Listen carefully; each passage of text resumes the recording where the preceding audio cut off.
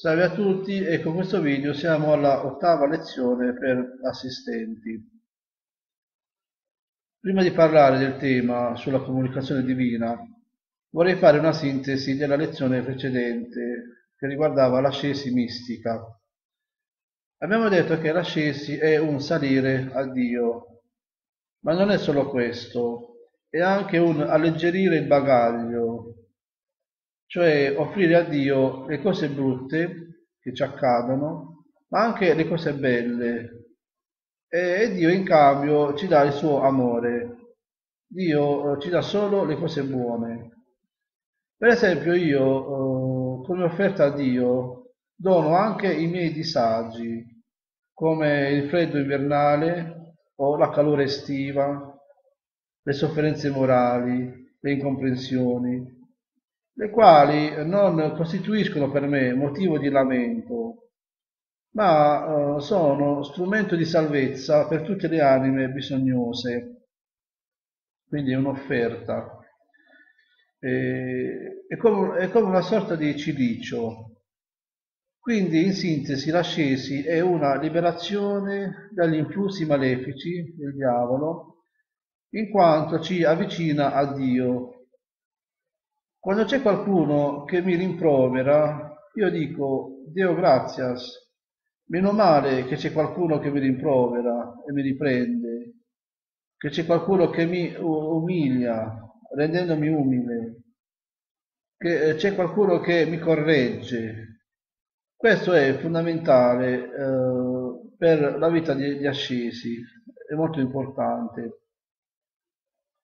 Quando noi saliamo una montagna facciamo molta fatica, ma una volta in cima vediamo tutto il mondo e diciamo ne è valsa la pena, ne è valsa la pena. Allora, eh, continuo con la, la comunicazione divina. Dovete considerare che nel mondo dell'aldilà ci sono tre realtà, che sarebbero Dio, gli angeli e le anime, queste sia del purgatorio che del paradiso. In questo video non parlerò né dei demoni e né delle anime dannate, eh, che se volete eh, posso dedicare un video a parte.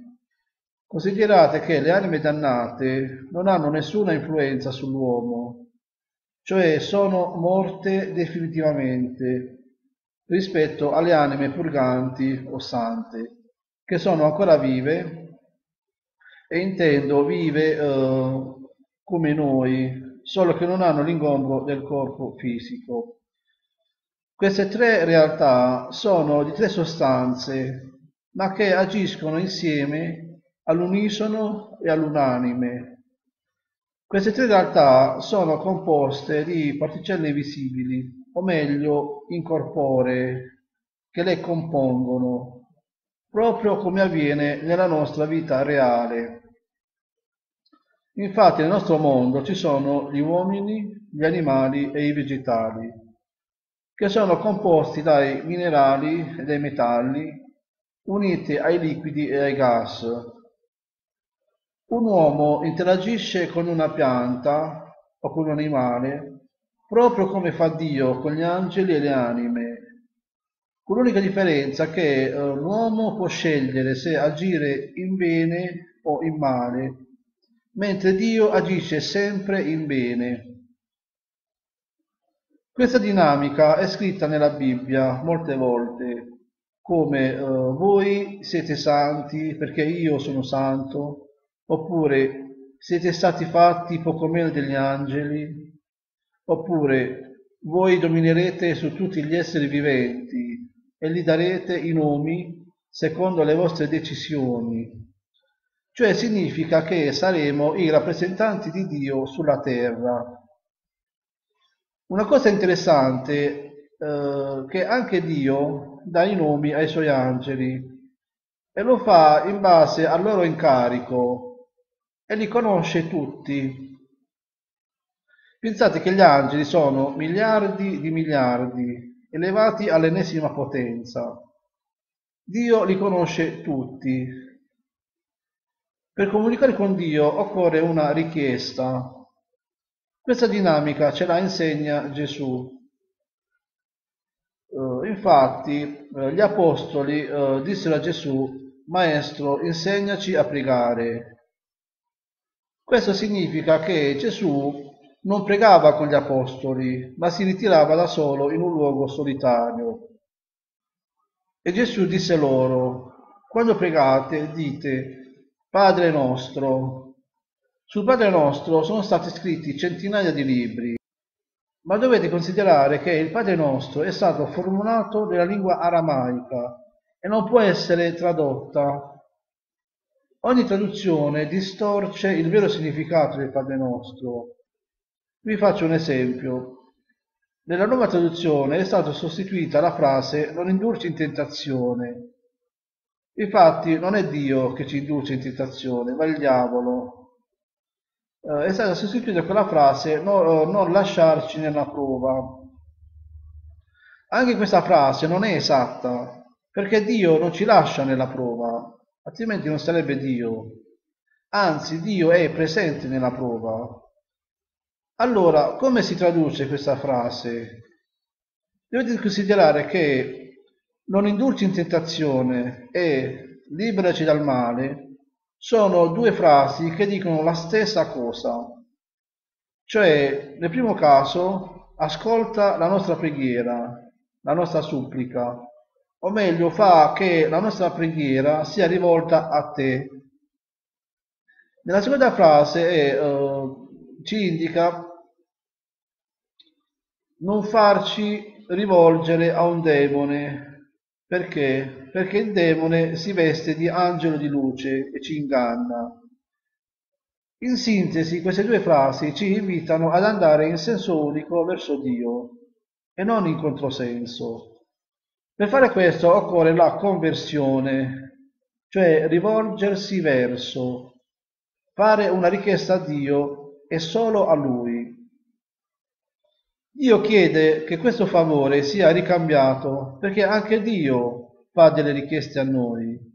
Lo ha fatto con la Vergine Maria. Concepirai un figlio, lo darai alla luce e lo chiamerai Gesù. E la Madonna ha detto sì. Un sì che ha salvato il mondo. Io vi confido che uh, non ho mai ricevuto un sì da parte di una donna quindi non posso sapere cosa Dio ha provato in quel momento. Ma sono stato io a dire sì lo voglio alla mia professione religiosa, sposandomi con la Chiesa. E vi devo dire anche che nonostante tra me e la Chiesa ci possono essere delle incomprensioni, disaccordi, dissensi, divergenze, modi diversi di pensare, la cosa che conta veramente è l'amore verso la Chiesa, perché è l'amore che unisce due persone. È scritto non separate quello che Dio ha unito. La separazione è l'incarico del diavolo, chiamato anche il divisore. Quindi per fare una richiesta occorre la sapienza che viene da Dio. Dio sa già cosa vogliamo, ma aspetta che siamo noi a fare la domanda. Quindi comunicare con Dio è fondamentale. Dio ci dà lo Spirito Santo. Gli angeli ci proteggono in base al loro incarico, mentre le anime intercedono come degli avvocati presso Dio e Dio non può dirgli di no. Per comunicare occorre la preghiera, la richiesta, è mettersi in un atteggiamento di riverenza nell'attesa della grazia. Nei dialoghi di San Gregorio Magno è descritta l'onnipotenza di Dio tramite una esperienza mistica di San Benedetto con queste parole. Un certo Servando, diacono e abate di quel monastero, che il patrizio Liberio costruì nella regione campana, aveva l'uso di fargli ogni tanto una visita di amicizia a San Benedetto, si incontravano. Una volta si trattennero tanto che era già l'ora di andare al riposo.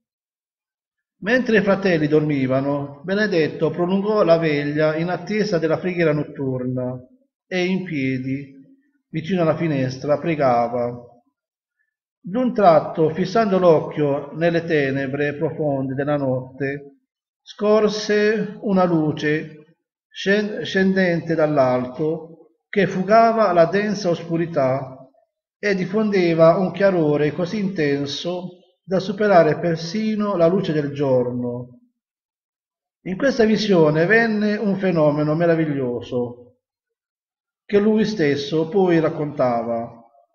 Fu posto davanti ai suoi occhi tutto intero il mondo, quasi raccolto sotto un unico raggio di sole. Questo, questo cosa ha visto San Benedetto? Ha visto con gli occhi di Dio ha visto il mondo con gli occhi di Dio, cioè Dio vede tutto, mentre noi vediamo solo quello che ci circonda. Eh, quando incontrate persone che dicono che la preghiera non serve a niente, non credetegli, perché non hanno mai visto la potenza della preghiera, quello che la preghiera può fare. La preghiera allontana un demone, e dovete sapere che la potenza di un demone è impressionante. Essere come Davide davanti a Golia, essere dei guerrieri spirituali, anche se a volte possiamo essere feriti dal nemico, ma una cicatrice fa curriculum e diventiamo professionisti. Vorrei che per qualche secondo abbiate modo di percepire una mia convinzione. Io ho fatto un'esperienza nel mondo dell'aldilà tramite una morte apparente, ma molti non ci credono. Queste persone, quando saranno trapassate, faranno la mia stessa esperienza e diranno, a saperlo, le avrei divulgate, avrei scritto un libro. Ma come dice la Sacra Scrittura, neanche se uno ritornasse dal regno dei morti, sarebbe creduto. Hanno i profeti, credano in loro. Con questo video è tutto, nel prossimo video parlerò uh, del, dell'algoritmo della chiaroveggenza, cioè come prevedere l'immediato con un calcolo matematico e andrò a spiegare una equazione con tutte le sue varianti. Si tratta semplicemente di calcoli di tenuta eh, che si usano uh, nell'ingegneria edile, dei pilastri, delle travi, dei solai, dei muri portanti, l'amalgama del cemento, il diametro dei tondini di carpenteria, il tutto applicato alle persone e alla dinamica spirituale. Questo serve per determinare cosa succede dopo un nubifragio, dopo una tragedia, dopo una disgrazia, vento impetuoso che si abbatte sulla casa.